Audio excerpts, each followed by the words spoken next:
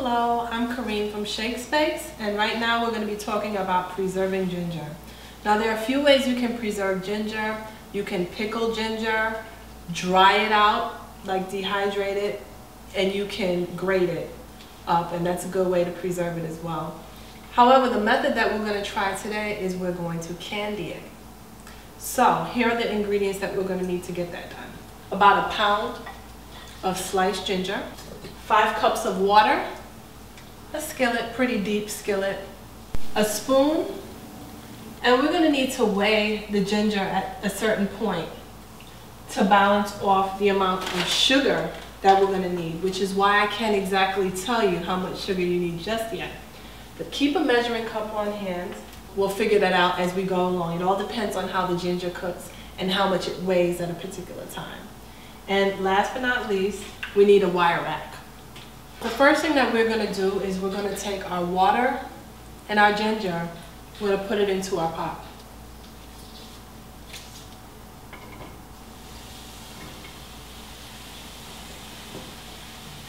Now it's very important to know that when choosing your ginger, fibers are a no-no when it comes to candy, candy ginger.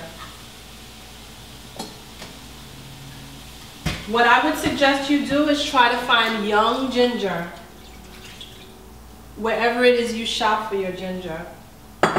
Usually have they usually have a thin skin on the outside, a lot more translucent than some ginger you may find with a thick husk.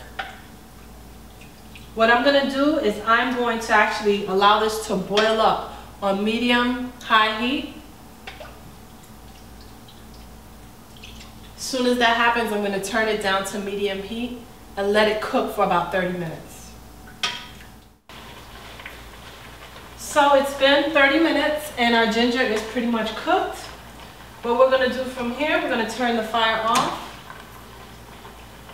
And we're gonna go ahead and drain this liquid off into my colander.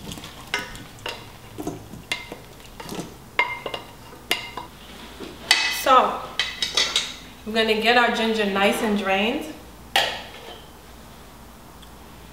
And I'm actually going to reserve one third of the liquid that came from when it was cooking. So my measuring cup's over there.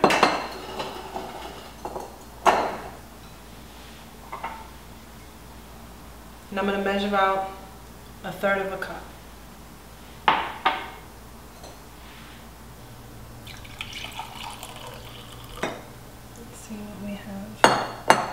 A little much.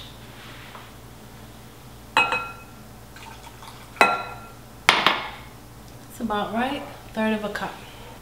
Okay, so now that we've got our ginger all drained, we got our reserve off, a third of a cup uh, into our measuring cup. I'm gonna go over here and grab our trusty scale. Now, this bowl weighs about two and a half ounces. I'm going to take that into consideration when weighing. Now the reason I'm weighing this ginger is simply because I have to put equal amounts of sugar as the ginger weighs. It weighs 1.15 pounds.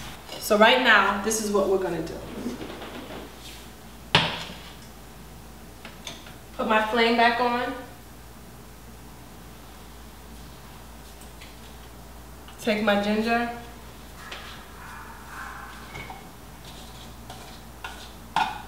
Put that in.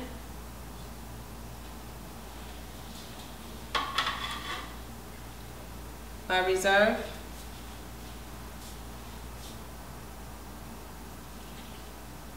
Add that in. And I'm going to weigh out some sugar.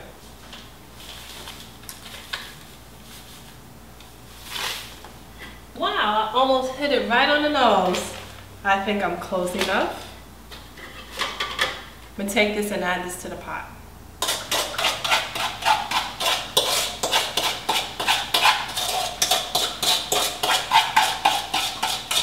Very important you get out all the sugar because we measured it.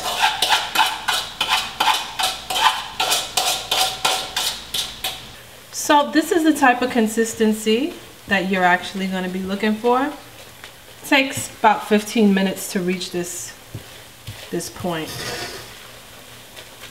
What we're going to do, we're going to transfer the ginger over to our wire rack. So you want to actually get it all out before the sugar starts to burn. We pretty much got it all out. Got to work very quickly. Um, what you want to do with this is let this sit here on the wire rack for about 15 minutes. Then you want to store it in an airtight container. One of those plastic containers, but the tops are pretty good. If you line the bottom of it with um, some paper towels, and it'll stay fresh in there uh, for you whenever you like to use it. So this is how, or one way of preserving ginger.